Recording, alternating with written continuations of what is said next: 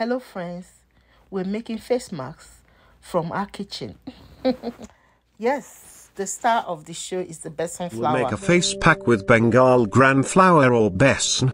This chickpea powder is very popular to exfoliate our skin, eliminates dirts, pollutants, oil and dead skin cells. Its antimicrobial properties remove It has other names which I will put in the description box later. The lemon is important. The turmeric powder, awesome. We're going to add milk. Any milk product, even yogurt we do, uh, it has to be fat, fatty one, the one with a lot of fat. So I'm adding the turmeric. Milk goes in and just mix it together. Don't forget to add your coconut oil. You can also use your almond oil. That'll be cool. And mix, continue to mix it together. And we also added lemon, lemon juice, or mix everything together.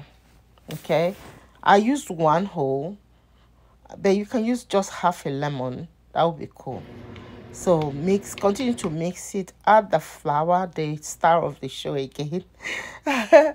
Add only two tablespoonful That's enough. So it's not too thick because you're going to store it in the fridge. Store it in the fridge for a week. It will be okay. Just make a small quantity at a time.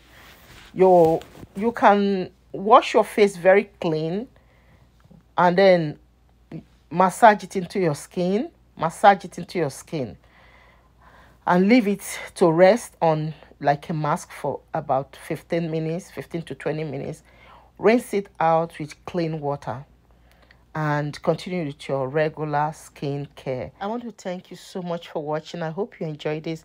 Please make your comment on the comment section. Thank you